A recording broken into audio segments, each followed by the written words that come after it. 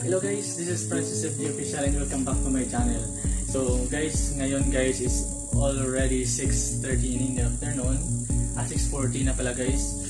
So nandito pa ako sa office ngayon, work mode ng lolo nyo guys. Dami ko pang tatapusin guys dahil month end ngayon. So I need to finish my month end report.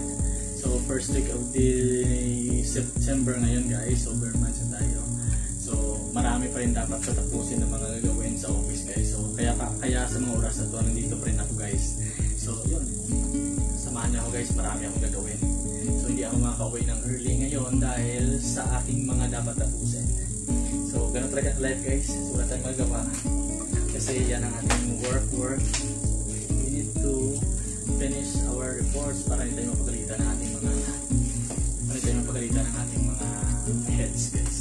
Yan, yun lang guys. Share ko lang sa inyo na yun kasi guys minsan hindi ako masyado ma makakapag-support ng inyong mga latest videos because it's because guys na yun nga minsan hindi tayo agad-agad makapag-out sa trabaho dahil may mga time minsan na busy ang ating mga life sa work. And uh, alam pa namang naiintindihan nyo yun guys. Pero yun nga guys just uh, ano lang sitwasyon ng aking work. So yan ito ito yung aking office. At uh, yun so hindi ko pa alam kung hanggang, hanggang anong oras ito matapos yung aking work so yun guys. Ito yung aking PC nakatambay ko yung aking mga so marami pa akong dapat tapusin before makauwi ng bahay guys.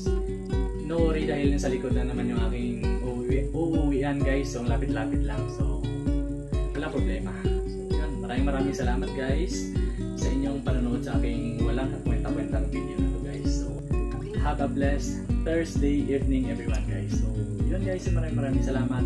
Once again this is Francis FD Official. Bye bye bye guys